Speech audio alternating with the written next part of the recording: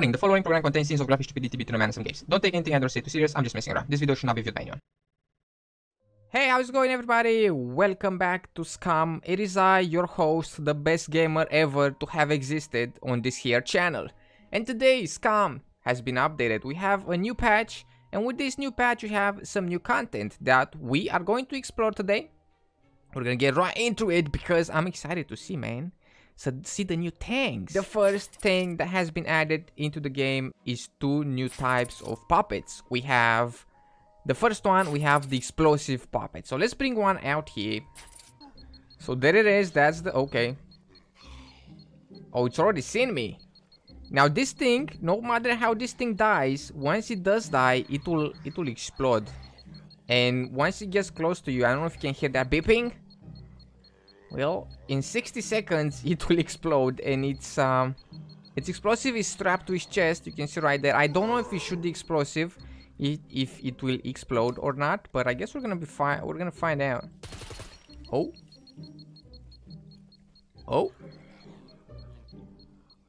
Oh god. So these things are gonna be are gonna be spawning at military points of interest. If you try and run them over, oh my god.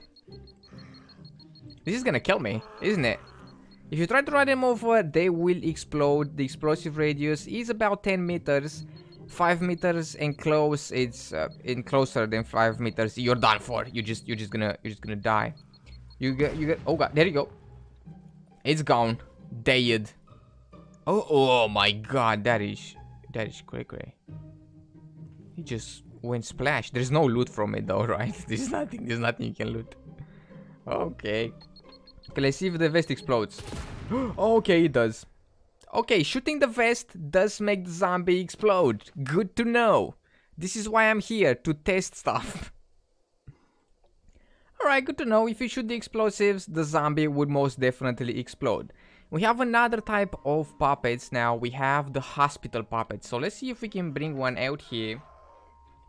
We got the hospital ones and is this bad boy right here.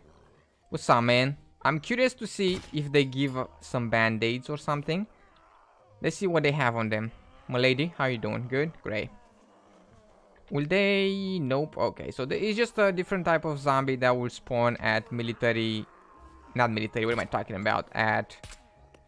What the hell? This guy is the Terminator at hospitals. Also, if you have noticed, in the left side of the screen, we have visibility and noise. It, it's The UI has been changed a little bit uh, we have some different icons for life, stamina, hunger, and thirst. Also, we have visibility and noise. I mean, you know how this works. This reminds me of Stalker a lot. That's where I first saw this this thing implemented.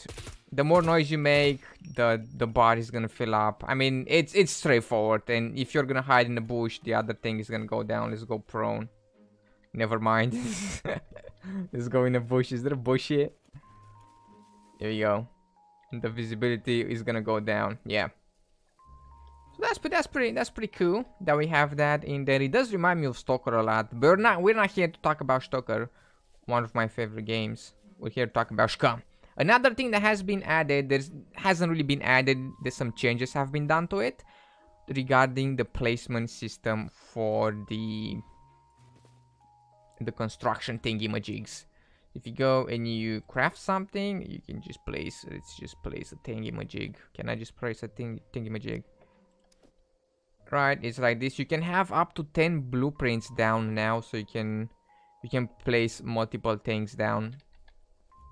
And it should also be more permissive. There's gonna be some height adjustments as well as possible after the blueprint is placed. I don't really know how you do that but i mean maybe tab I don't I don't know, but apparently it should be. How the hell do you adjust the what? I don't know what that means. And the new look for them, they're blue. I think they were green before, now they're blue. There's also been added some new event locations for deathmatch and team deathmatch for uh, I mean the locations are gonna is gonna be I'm I'm not even gonna try and pronounce them but it's Prnkno, Veliki Tabor, Mirkovic, and Tisno. I I know that's not correct, but you know, sue me. I don't speak Croatian. or yeah, here we go. What else? Now, check this out. The tractor. They've added the tractor with the storage space. So it's gonna have like a little bit of a cage behind it. And it's gonna be a big storage, I think. So let's see if we can get one out here. So this is the tractor. And now the tractor behind it is got a little bit of a basket. And you can enter the basket. Hell yeah. nice. Now this, this is what I call an update. This is great. I wish you could pick up the zombies as well and just put them in there. I don't know why. Just carry them around, burn them somewhere. No, you cannot. But let's see how big of an inventory this has. Enter, let's see the storage on this. Oh, the storage is damn big, man. It's huge. Was it like this before? I doubt it. I hope not. Can you put stuff in here? Let's see if we can drag a chest in this. Ah, uh, what? Disappointed. Why can I not put this in here, man? This is clearly what it's used for, to carry shit. Come on, dude. Well, that's a no skill on that. Oh, oh, oh. Nope, does not work. Well, I mean, you can still, I mean, I'm being a little prick right now, but you can do this and you can just add your chest inside the storage. I mean, it's not like... it's not a big deal that you cannot actually put it in there. You can just store it inside your tractor, the food, the food chest. There's also been some quality of life changes. There's some stuff to make our gaming experience more pleasant, you know, like M1 clip. Do we have an M1? Yeah, we have an M1 the clip when you empty it is gonna be empty let's actually empty it and let's see one more take that down and now yeah there you go this is an empty clip. This is a full clip right here. Empty and full. Stuff like that. New animations and whatnot. New commands for admins. Stuff that doesn't really concern me because i'm not an admin. I'm just i'm just a pleb player. And some bug fixes and some optimization. The game should run a little bit better.